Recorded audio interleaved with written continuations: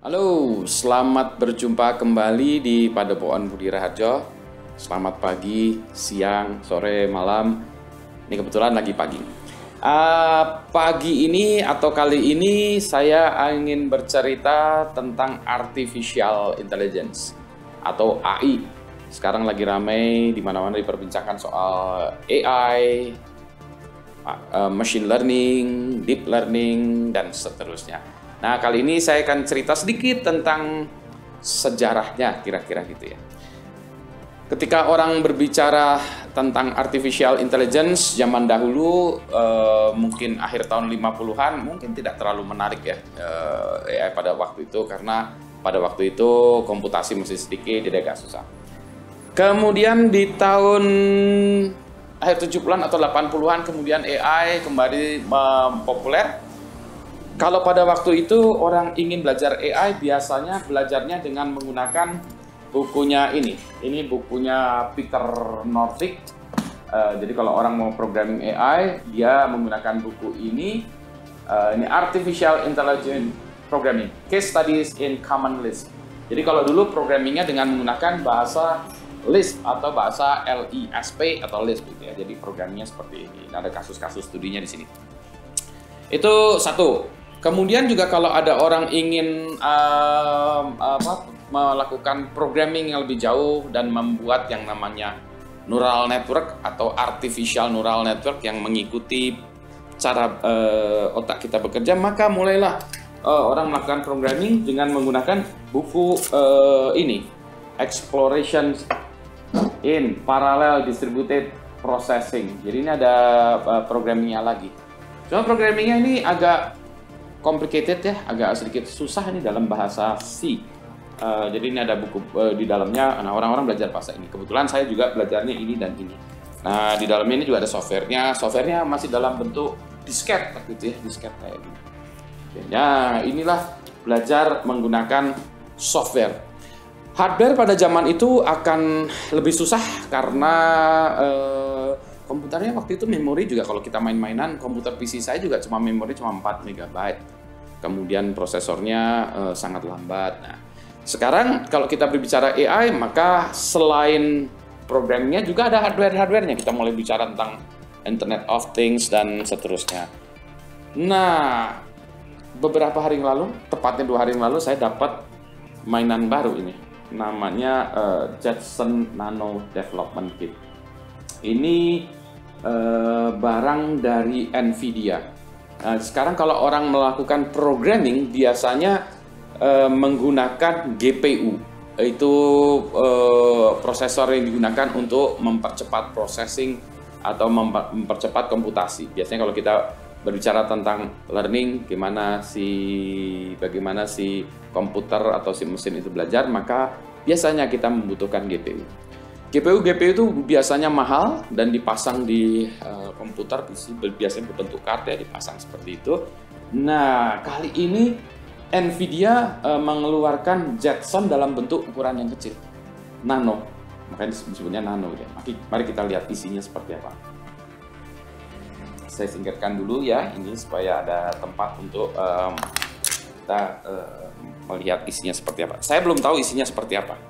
Jadi mari kita buka dulu ini masih di bentuknya masih di seal kita buka dulu. Isolasinya. Kita lihat uh, bentuknya.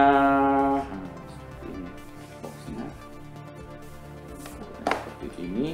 Dalamnya isinya ada box hitam ini. Packagingnya.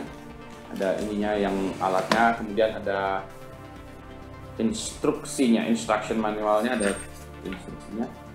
Terus juga ada uh, ada card yang uh, yang katanya kalau ini bisa disusun untuk uh, jadi tempatnya si si apa uh, Jetson ini. Kalau nggak kita bisa pasang kaki-kakinya supaya dia bisa tinggi ya. Tapi kalau belum punya kaki-kakinya itu kita bisa menggunakan kardus ini. Oke, kita lihat uh, dalamnya. Dalamnya seperti apa?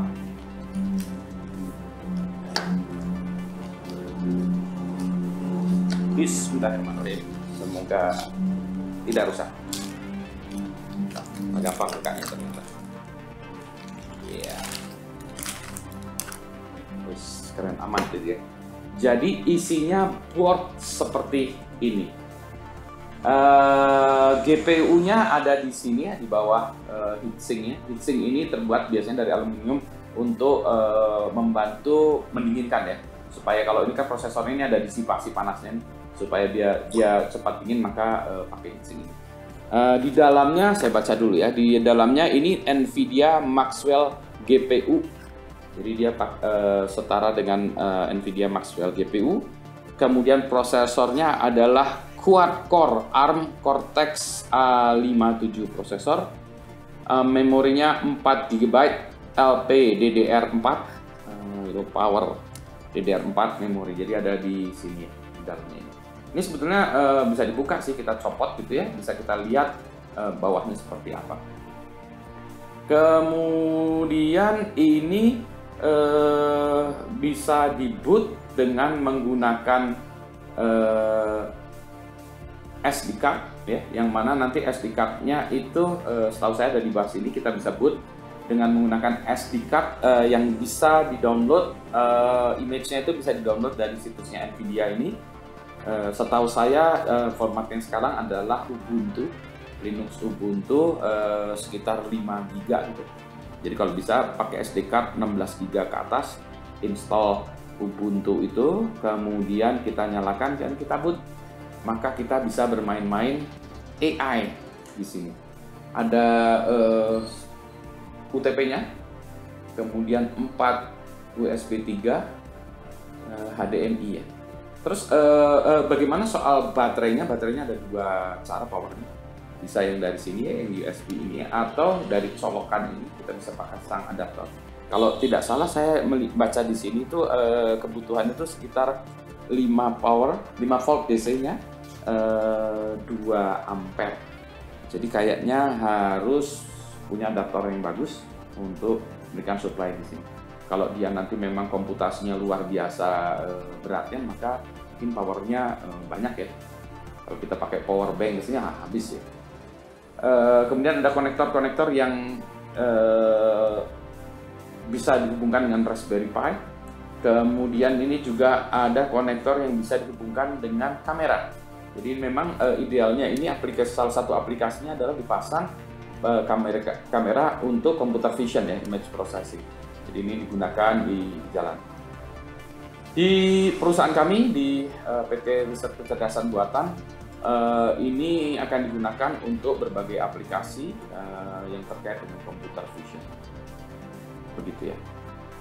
Karena saya belum punya SD card-nya dan image-nya maka saya belum bisa menunjukkan uh, aplikasinya di layar. Nanti uh, kalau udah jalan ini mungkin saya tunjukkan lagi ya aplikasinya seperti apa uh. Jadi, nah kita balik lagi. Uh, kalau dulu kita ingin melakukan art, um, kalau dulu kita ingin terlibat dalam artificial intelligence, maka kita dapat melakukan pemrograman dengan menggunakan bahasa pemrogramannya Lisp, kemudian C, dan sekarang bisa dengan Python. Uh, sekarang uh, perangkatnya juga sudah uh, tidak lagi terbatas pada komputer, sudah bisa uh, masuk ke dalam board-board yang ukurannya sekecil ini. Ya. Bahkan di beberapa tempat ada AI lagi yang ukurannya lebih kecil lagi. Jadi demikianlah sedikit tentang artificial intelligence, tentang AI, mulai sejarah dikit sampai kepada kita unboxing uh, Jetson Nano Development Kit. Terima kasih, sampai berjumpa di video selanjutnya.